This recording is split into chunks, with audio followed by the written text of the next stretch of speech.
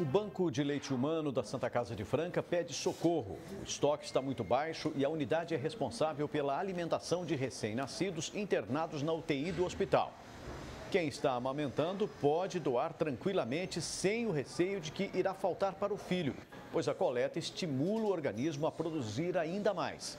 Quem quiser ajudar, é só ligar para o Banco de Leite. O telefone é o 16 3711 4121.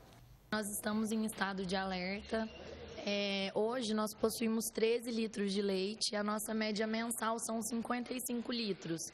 Então, se nós não conseguirmos doações para esse mês que se inicia, a gente não sabe a que ponto que vai chegar. A doação ela pode ser realizada aqui no próprio banco de leite ou então domiciliarmente também. Todas as mães que estão amamentando, que puderem, que sentirem, né, tocar no coração e puderem nos procurar para ajudar esses bebês para que a gente consiga reverter esse estoque e voltar para a zona de conforto.